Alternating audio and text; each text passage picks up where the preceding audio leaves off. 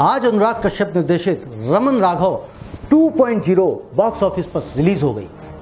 Film की कहानी आधारित है 1960 के दशक के खूखार साइको किलर रमन राघव द्वारा की गई सीरियल किलिंग्स पे। रमन राघव पे अनुराग कश्यप से पहले, रमन राघव पे अनुराग कश्यप से पहले film maker Shankar Raghavan 70 minute की एक शॉर्ट फ़िल्म बना चुके हैं, जिसके लीड रोल में रघुवीर यादव थे। रमन राघव 2.0 के लीड रोल में है नवाजुद्दीन सिद्दीकी। और उनके साथ पुलिस ऑफिसर की भूमिका में है Masaan fame, Vicky Kaushal. 69th Cannes film festival में जब यह फ़िल्म दिखाई गई तो नवाजुद्दीन को उनकी परफॉर्मेंस के लिए स्टैंडिंग ओवेशन मिला। नवाजुद्दीन अपने अभिनय का ऑलरेडी लोहा मनवा चुके हैं और उनकी तकरीबन सात फ़िल्में कांस में दिखाई जा चुकी हैं।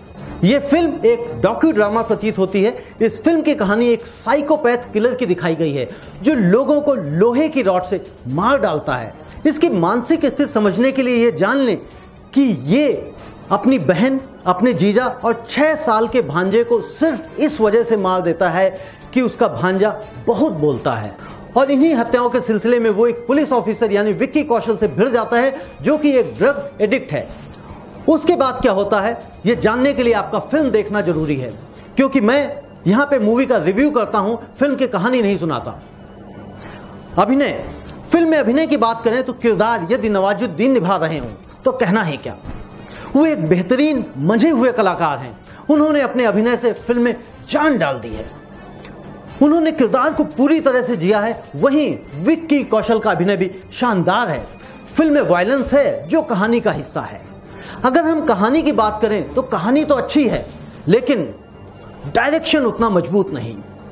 क्योंकि इस तरह की फ़िल्म की पेस अच्छी होनी चाहिए, वरना बोरियत हो जाती है। और ये फ़िल्म अपनी पेस की वजह से बोर करती है और दर्शकों पे पकड़ बना पाने में कामयाब नहीं हो पाती।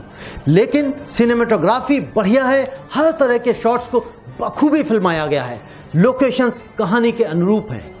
म्यूज़िक राम संपत का है और कहानी से जल करता है। ओवरऑल फ़िल्म ठीक ठाक है, आप इसे देख भी सकते हैं और छोड़ भी सकते हैं। फ़िल्म को ए सर्टिफिकेट मिला है तो आप बच्चों के साथ इसे नहीं देख सकते हैं।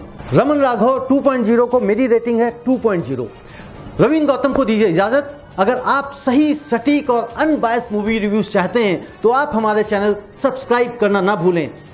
फिर मिलेंगे दोस्तों किसी नई फ़िल्म के रिव्यू के साथ।